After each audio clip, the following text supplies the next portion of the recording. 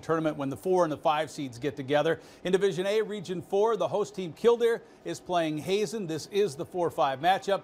Beulah earned a first round bye. Killdeer takes a 41 to 37 lead in the fourth quarter when Owen Schleppenbach takes the pass from the left baseline and scores it.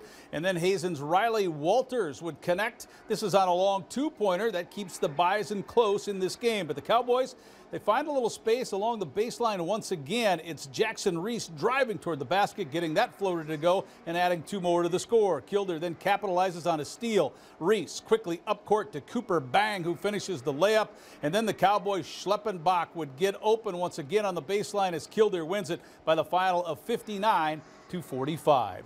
Ellen Reed got us the second game as well. That's Shiloh Christian and Watford City. This is Watford's Derek Schoen fighting his way uh, through a couple of defenders here to get the uh, shot to go in high off the glass. But Shiloh Christian's James Melberg puts this uh, up his second three-pointer in a row as the Skyhawks offense is starting to warm up. Then it's the Skyhawks again. Caden Eglin over to uh, Tristan Grease. They had a 30 to 1 run at one stretch in this game. Here's Melberg again, adding a couple more as Shiloh Christian wins it 67 to 40 was the final.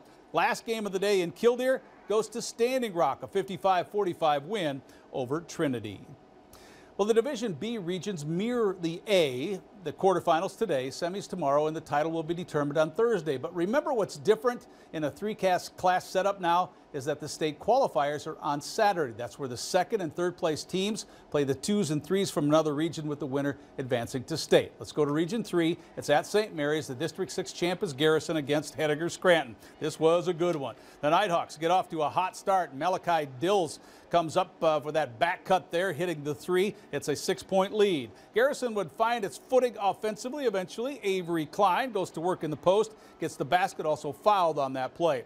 This one would stay close throughout. Fourth quarter now, decisive three-pointer here from Caden Anderson. This ties the score at 58 all.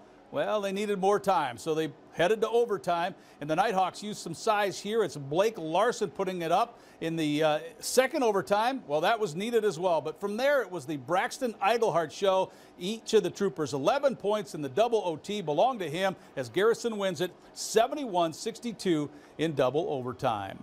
Well, New England made big noise by beating Glen Ullin-Hebron last week. Tonight, the Tigers take on Washburn, and it's the Tigers looking to step out in front. Pulling uh, that jumper there is Talon Binstock as New England started to get going, a six-point lead. But the Cardinals uh, looking and finding some offense over to Ethan Rederath as he hits the triple. This halves Washburn's deficit, but then in the second quarter, Washburn would continue to build on its lead. A hard drive here by Alex Rederath. He gets the layup to go as the Cardinals win it 59 to 52 was the final score. Elsewhere in Region 3 earlier today, Bowman County rated third in the state, wins easily. Seventh rated Wilton Wing needed a Hudson Wolf buzzer beater to take care of Flasher. Region 1 going on in Jamestown. EKM tonight rated fifth in the state, wins by 10. 10th rated Linton HMB drops its game to Sargent County. And Hankinson rated sixth loses to the Lobos while Allendale takes care of Barnes County North. Well, the U-Mary women's basketball team can play for the conference title, but the Marauders have to get past the Duluth Bulldogs first. Semifinals at the Pentagon in Sioux Falls. Second quarter, U-Mary out to Mariah McKeever.